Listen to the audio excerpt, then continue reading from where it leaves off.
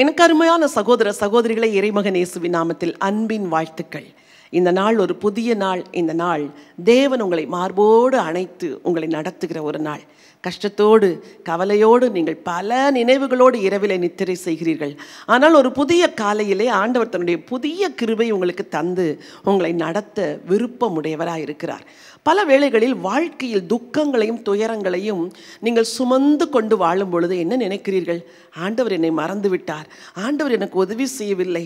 ஆண்டவர் என்மேல் இரக்கம் வைக்கவே இல்லை என்று நீங்கள் நினைக்கிறீர்கள். எருசலேம் சியோன் கூட பல வேளைகளில் அப்படி நினைத்தது உண்டாம் தேவ ஜனங்கள் பல வேளைகளில் ஆண்டவர் என்னை மறந்து விட்டார் என்று நினைத்தது உண்டு. ஆனால் ஆண்டவருடைய திட்டங்கள் அவருடைய விருப்பம் என்ன என்பதை வேதத்தின் பல வசனங்கள் சொல்லுகிறது. ஒரு குறிப்பிட்ட வேத வசனத்தை உங்களுக்காய் வாசிக்க விரும்புகிறேன். சகரியா தீர்க்க தரிசன புத்தகம் ஒன்றாம் அதிகாரம் பதினாறாவது வசனம். ஆகையால் மன உருக்கத்தோடே எருசலேமினிடத்தில் திரும்பினேன் என்று கர்த்தர் சொல்லுகிறார். ஆண்டவருடைய வார்த்தை பாருங்கள். மன உருக்கத்தோடே நான் எருசலேம் இடத்தில் திரும்பினேன். எருசலேம் நினைத்ததாம் ஆண்டவர் என் மேல் இறங்கவில்லை. ஆண்டவர் என் மேல் இரக்கமாக இருக்கவில்லை. ஆண்டவர் எனக்கு உருகவில்லை என்று நினைத்தார்களாம். ஆனால் ஆண்டவருடைய வார்த்தையை பாருங்களேன் மன உருக்கத்தோடே நான் எருசலேம் இடத்தில் திரும்பினேன். இந்த நாளிலே ஆண்டவர் உங்களுக்கு மனம் உருகி சில காரியங்களை செய்ய போகிறார். உங்களிடத்தில் திரும்பி உங்களை தேற்றரவு பண்ண போகிறார். உங்களுக்காக இறங்கி சில அனுகூலங்களை இன்றைக்கு ஆண்டவர் உங்களுக்கு செய்ய போகிறார்.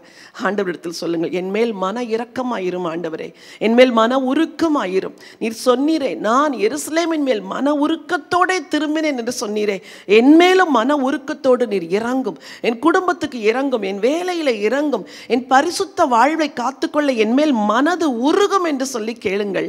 இந்த ஜீவ வார்த்தை இன்றைக்கெல்லாம் அறிக்கை செய்யுங்கள்.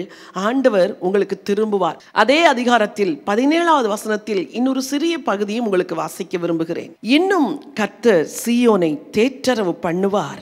இன்னும் எருசலேமை தெரிந்து கொள்ளுவார். என்ன ஒரு அருமையான வார்த்தை பாருங்கள். மன உருக்கத்தோடு இறங்குவாராம். இன்னும் தேற்றரவு பண்ணுவேன்.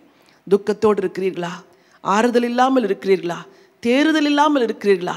அனைத்து ஒரு தாய் போல தேற்றுகிற ஒரு ஆண்டவர் சொல்லுகிறார் இன்னும் நான் உன்னை தேற்றரவு பண்ணுவேன். இந்த நாளெல்லாம் ஆண்டவருடைய தேற்றரவு ஆண்டவருடைய ஆறுதல் ஆண்டவருடைய மன உருக்கம் உங்கள் மேல் தாராளமாக இருக்கும். பற்றி கொள்ளுங்கள் அவரிலே ஆறுதல் அடையுங்கள்.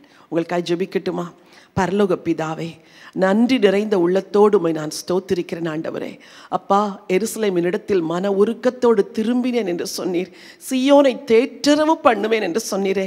உம்முடைய பிள்ளைகள் எந்த காரியத்து நிமித்தம் மனம் உடைந்து அல்லது தன்னை யாராவது தேற்ற மாட்டார்களா என்று ஏங்கி இருக்கிறார்களோ நீர் அவர்களை அணைத்து கொள்ளும் அப்பா.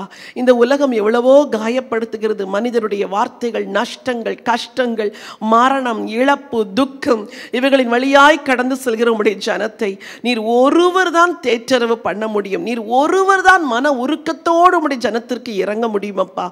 இன்றைக்கு இரக்கம் பாராட்டும்படியா ஜெபிக்கிறேன். இன்றைக்கு நீர் எதையாகிலும் செய்தால் உம்முடைய இரக்கத்தின்படி உம்முடைய ஜனத்திற்கு செய்ய வேண்டும் என்று உடைய அடியால் நான் ஜெபம் பண்ணுகிறேன். இந்த நாளெல்லாம் அவர்கள் மேல் இறங்கி இந்த நாளெல்லாம் அவரை தேற்றி ஆற்றி நடத்தும்படியாய் வேண்டிக் கொள்கிறேன். ஆசீர்வதிங்க ஆண்டவரே. மீட்பரேசுவின் நாமத்தில் பிதாவே. ஆமேன் ஆமேன்.